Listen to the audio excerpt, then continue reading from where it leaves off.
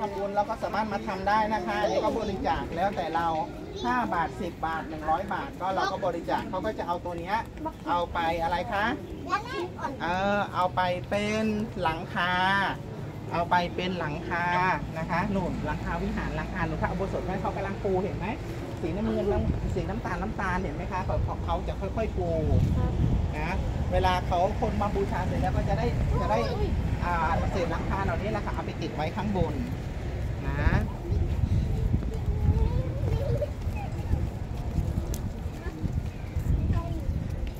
พี่ปักรองเท้าตัวนี้มา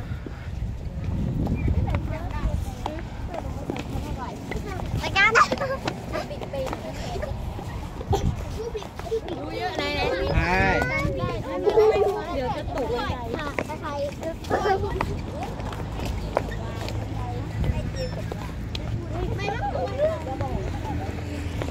ตอนนี้ เวลาเท่าไหร่แล้ว ตอนนี้เวลาเท่าไหร่แล้วเอ่ย ถึงบ่ายถึงบ่ายบ่ายบ่ายโมงครึ่งยัง ยาถั่วจะมาได้ไหมถึง13 30 13 30หรือยังไปฟังในอ่ำถึงแล้วค่ะ13 30แล้วเหรอสามสิบแล้ว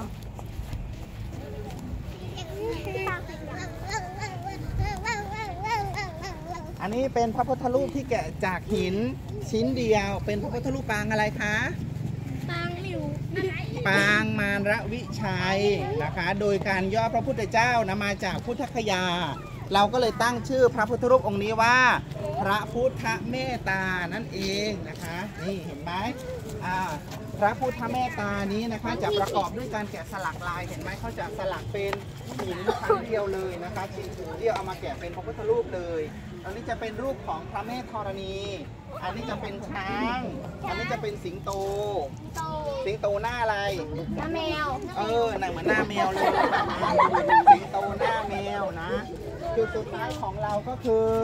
พระพุทธเมตตา นะคะที่แกะสลักจากหินนะหินของเขา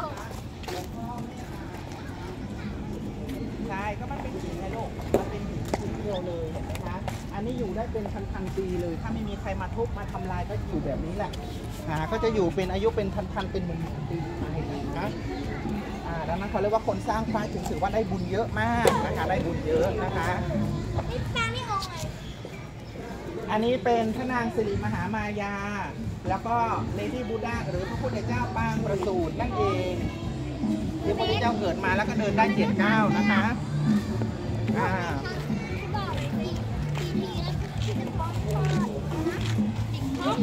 หมูที่พูดเองโอเคโอเคนะอ่าต่อไปทางนี้ ไปทางนี้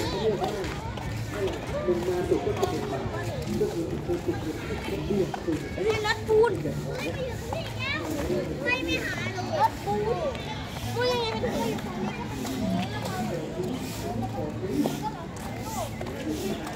คนหู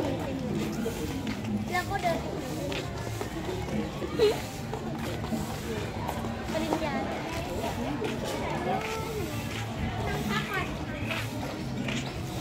ป้าเร็วอ่ามาทางนี้ลูกเรามาทางนี้ อันนู้นมันเจ็บเลยไป